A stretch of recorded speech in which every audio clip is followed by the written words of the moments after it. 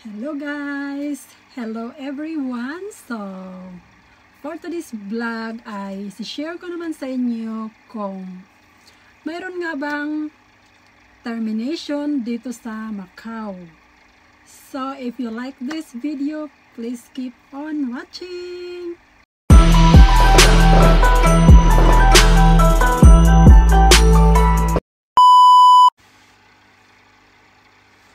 Hi guys! Welcome back to my YouTube channel. So, so for today's vlog guys ay isi-share ko nga sa inyo kung mayroon nga bang termination dito sa Macau. So, since alam naman natin na Macau is just a neighborhood country ng Hong Kong and then alam naman natin sa Hong Kong na osong-oso yung termination of break contract sa mga domestic helper doon. Um, alam naman natin guys na ang Macau and Hong Kong ay the same lang silang Chinese. So, today pag-uusapan natin kung mayroon nga bang termination dito sa Macau o break contract. So, yes guys, yung Macau at saka yung Hong Kong ay parehas na parehas lang since nga puro parehas lang naman silang Chinese. So, dito sa Macau guys, mayroon din siyang termination, mayroon din siyang break contract, and mayroon din siyang ban. So, yes guys, dito sa Macau, anytime pwede kang i-ban ng employer mo kapag nagpapasaway ka and hindi ka nila nagustuhan. So, uh, dito sa Macau guys ay iilan, iilan lang naman yung mga terminator na employer, um, iilan lang din naman yung mga helper na nagbe-break contract kasi dito sa Macau guys, ang kontrata naman dito is one year lang naman siya. So, kung baga, ang renewal dito sa Macau guys is uh, yearly siya. Iilan lang din yung ginawang 2 years ang kontrata dito. Mostly 1 year lang. So, every year yung every year yung renewal namin dito sa Macau. So, iilan lang yung break contract guys. And then, iilan lang din yung mga nate-terminate sa sa napapansin ko, iilan lang din siya. Pero, sa terminate guys, ay naranasan ko yan siya. So, ang una kong terminate dito guys ay nung stay-in ako, pero hindi siya matatawag na terminate guys kasi mayroon ditong tinatawag na salo visa. So, yung salo visa is kung baga hindi mo na finish yung kontrata mo and bigla kang binaba ng employer mo pero yung, yung record mo sa immigration is uh, it's parang okay finish pa rin yung uh, yung visa mo, bali sinalo lang ng ibang helper. So, yun yung nangyari sa akin nung una kong termination dito sa Macau, guys. Uh, kung baga, uh, mabait naman yung employer ko noon. Doon lang ako nagka-conflict sa popo, sa matanda. So, alam naman natin, guys, na mayroong mga matatandang Chinese nga masungit. So, sa akin, yun yung naranasan ko. Hindi naman sa sobrang masungit yung matanda no, na yon pero parang nangingialam siya sa trabaho ko ba. Like, hindi mo alam kung sino yung susundin mo. Like, inuutosan ka ng madam mo na gawin mo yan. And then, pag dumating na yung pupo, ibang way naman ang gusto niya. So, dyan kami nagka-conflict noon. Kumbaga, gusto ng madam ko na uutosan ako ng madam ko na magluto ako ng soup na gusto niya yung um, medyo creamy siya na pagka-soup. Ayan, ayaw niya yung sobrang maraming tubig. And then, si Popo naman, doon kami nagka-problema kasi nga nangingialam nga siya sa trabaho ko. Kumbaga, kapag nagluluto ako ng soup, pinupuntahan niya sa pinupuntahan niya sa kusina at kusa niyang dinadagdagan ng tubig yung ginagawa kong soup. So, doon kami nagkaano at nakikita ng mga employer ko na parang para, parang nagiging unhappy ako sa bahay nila. So, yun yung reason ko guys na kung bakit ako nababa ng employer ko. So, ano naman yun siya, pinaintindi naman yun sa, ng amo ko lalaki, kung baga, binigyan niya ako ng time na maghanap ng ibang employer kasi sabi niya uh, parang unhappy na nga daw ako sa bahay nila. So binigyan niya ako ng time na maghanap ng employer bago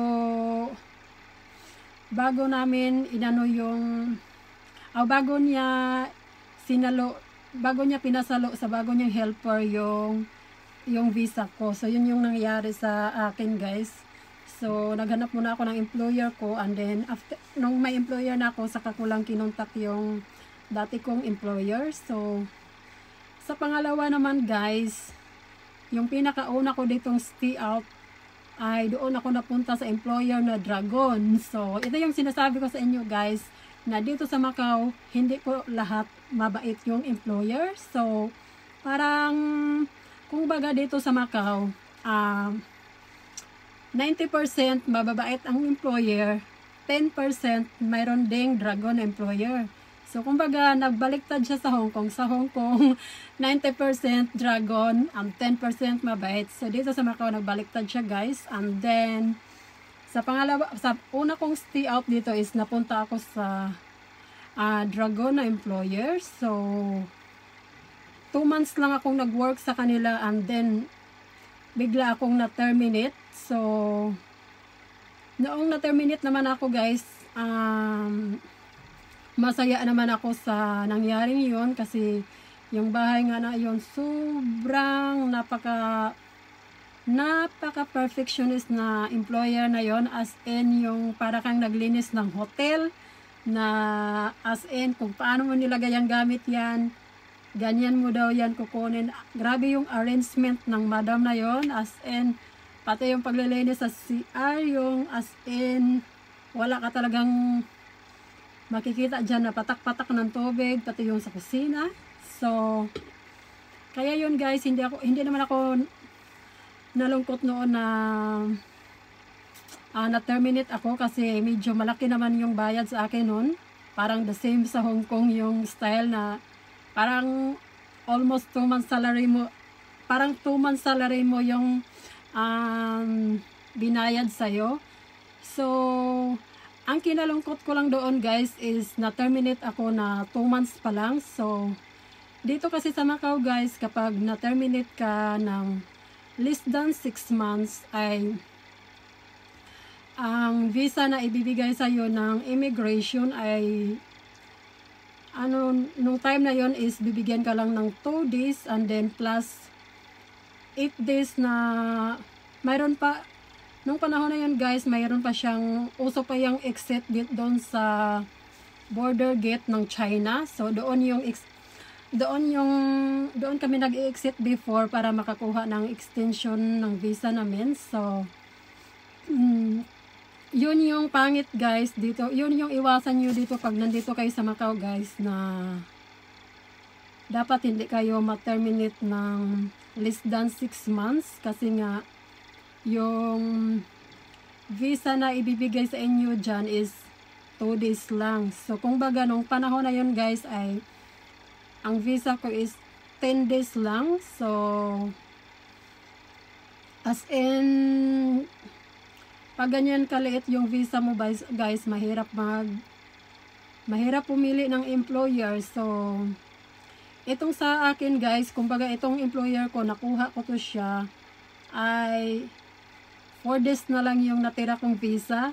Kumbaga, nung time na yon is ready na akong mag, mag-exit sa Thailand. Kasi dito also kasi yung, pag naubusan ka ng visa dito sa Macau, ay dati Thailand po yung exit namin. So, wala pa yung Hong Kong dati. Sa ngayon, kapag na terminate ka at naubusan ka ng visa dito ay sa Hong Kong at Thailand na yung pwede mong pag-exitan. So, yung sa akin guys is ready na akong mag-exit sa Thailand. Kung baga, as in, gusto ko lang sagarin yung kung 2 days na lang yung natira kong visa and then wala pa rin akong nakuhang employer ay siyempre magbubook na ako ng ticket for Thailand. So, timing naman guys na after 4 days na lang yung natira kong visa, mayroong nag mayroon akong kaibigan na may kakilala siya na nirecommend ako sa employer na, na ito, yung ito kong bago kong employer. So, yung, na, yung nangyari sa amin ng employer ko na ito guys ay as in ay dito pala sa, sa Macau guys is mayroon siyang 3 days na tryout. So, sa 3 days na yan, after 3 days, saka pa lang mag-decide ang employer kung iha-hired ka ba niya. So, ang nangyari sa akin sa employer na to guys ay siyempre hindi siya masilan. So, first day pa lang ng tryout ko ay wala, wala, hindi na niya hinintay yung 3 days. Kumbaga, kinabukasan ay nag-medical na ako. Kasi dito pag may baby kasi yung employer mo ay nire-required ka na mag-medical. So, nung dumating ako sa kanila is maliit pa yung bunso, baby pa yung bunso kong alaga kaya nag-medical ako and then after medical, siyempre nag-process na kami ng papers ko sa immigration. So yun yung nangyari sa akin guys. Kaya mm, ang ma-advise ko talaga guys sa mga gustong-gustong pumunta dito sa Macau na syempre pag bago kayo sa employer nyo, kung matiming kayo sa mga employer na dragon so, ang maipapayo ko lang guys ay tiisin nyo lang kasi one year lang naman yung kontrata dito and at saka wag nyong sagot-sagutin nga kasi baka bigla kayong i-terminate. Pwede, ka, pwede kasi dito guys na i-terminate ka may kasama pang ban. So, kapag na-ban ka dito sa Macau guys, hindi ka pwedeng mag-apply ng 6 months. Kumbaga dito sa Macau, 6 months yung ban mo bago ka pa bago ka maka, pwede mag-apply ulit. So, yun yung iwas-iwasan natin guys na hindi tayo maban. So, siyempre, ang kailangan lang natin dito is sipag at tiyaga lang. So, tiyagaan mo lang yung one year. Kasi dito naman guys is one year lang naman ang kontrata dito. So, kung dragon ng employer mo, so kayang-kaya mong tiisin yung one year na yan para makapag hanap ka ng ibang employer, makapamili ka. Um, iwas-iwasan nyo rin guys na hindi kayo ma-terminate ng less than 6 months kasi lalo na sa panahon ngayon na nag-iba na sila. Hindi ko na alam kung magka ilang ilang kasi ang pagkakaalam ko kasi pag sabi-sabi ng iba dito kapag terminate ka ng employer mo or ikaw or ikaw mismo ang nag-break contract kusang ang immigration na yung magbaban sa'yo guys. Kumbaga hindi na yung employer mo yung nagban sa'yo yung immigration na mismo ang magban sa'yo. So hindi po talaga advisable dito yung guys yung break contract kasi baka baka mawalan ka ng visa kasi nga usong-usong nga dito yung pwede kang maban so yun lang guys. Kapag nandito na kayo syempre tiis-tiisin nyo lang at matapos din nyo yung kontrata nyo and then may chance na kayong maghanap ng employer or kung gusto nyo bang mag-company so oh, dito guys ay malaki ang chance mo na makapagtrabaho ka ng company kapag Siyempre, kapag may ready kang pera for the parang processing fee. So, malaki yung processing fee dito sa mga mga company, mga cleaners. So, so yan lang muna ang isi-share kong vlog for today guys. It's all about the termination, break contract, and may kasama pang ban. So, I hope you like my video guys. And then, thank you for watching my vlog. And don't forget, and don't forget to give a like, comment, and click the bell button para updated kayo sa lahat ng videos na i-upload ko. Bye-bye!